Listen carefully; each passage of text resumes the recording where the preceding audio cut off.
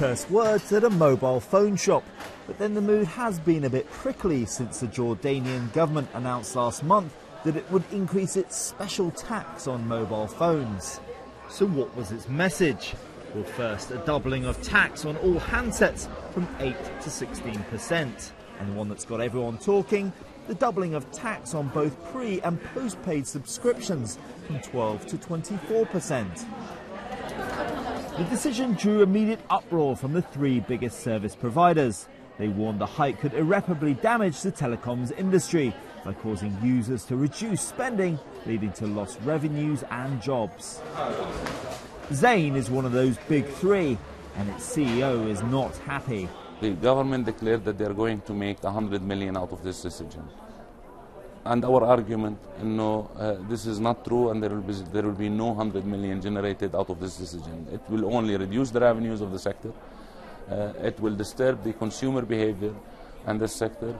And at the end of the day, the income, the net revenue that the government will generate out of this decision, it's going to be immaterial, if not negative. So why the tax?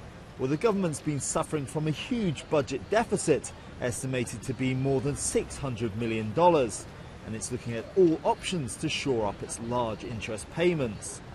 So to defend the government's position, they put forward Mohammed Al Thani, the CEO of the Telecommunication Regulatory Commission. Their mission statement, high quality telecoms available to all at an affordable price. But won't the move deter people from spending, as Zain's CEO suggests? Customers will still continue to own and use cell phones. We believe that the impact of the decision will be marginal, and we also believe that this marginal effect will be absorbed by the nice and healthy profit margins that our operators are making, and we do want them to continue making these healthy profits.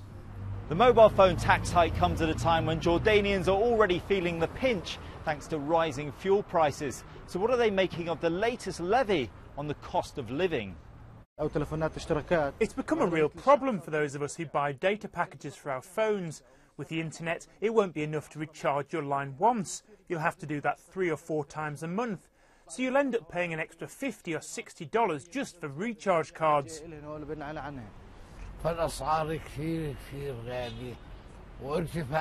They're really expensive for us, and we can't handle them. I'm thinking to cancel all calls. I don't need them anymore, and if anyone would like to speak to me, they can call me. Other than that, I'm not going to pay from my own pocket to call someone. It's just too much. Everything in, the, in Jordan is increasing, and, and, and the rate in the salaries of the people is not, uh, are not increasing. So they're getting higher, and the salaries are keeping the same, so it's not working. So has the government got the balance right? Well, telecoms analyst Jawad Abbasi says there's precedent to suggest revenues will suffer. In the last uh, uh rate hike on cellular services, where the special tax was increased from 8% to 12%, uh, there was a measurable uh, uh, dampening of demand tied to the, to the rate hike. So it's, it's a profitable, uh, for the three existing operators, cellular operators are profitable, but they're not outrageously profitable. Uh, for example, if you look at the internal rate of return for France Telecom over its 13 years in Jordan, it's around 9%, 9.5% in Jordanian dinars, and in euros it's around 8% it's, it's a fair return on investment, but it's nothing outrageous that, uh, that it would uh, uh, be a basis for increasing the taxation level on them.